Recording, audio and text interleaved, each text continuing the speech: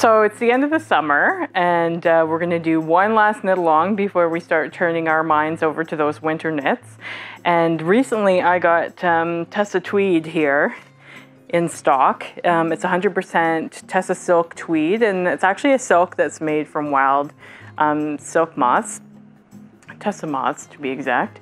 And this inspired me um, to knit up a ranunculus. And then when I started looking at that pattern, I realized that basically you can use any yarn under the sun. Um, there's 6,000 projects on Ravelry. They all use different combinations of yarns, etc.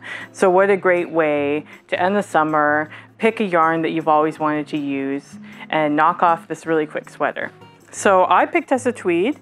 Um, it only takes two skeins, which is awesome. Three skeins if you want to add long sleeves. Uh, the other options that I've outlined are Meadow.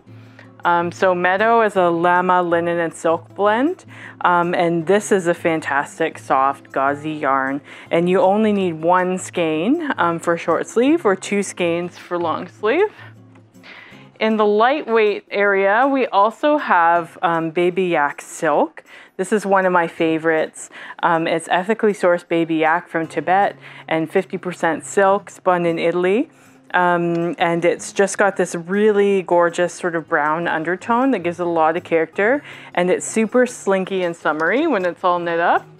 And then finally, if you've ever wanted an excuse to use June Cashmere, um, the June Cashmere lace weight is um, 308 yards. So you actually only need two skeins to do either the short sleeve or the long sleeve version. Um, so a cashmere sweater for 100 bucks, that ain't bad. Um, so these are my lightweight options. And I'm sure you'll find something that you love.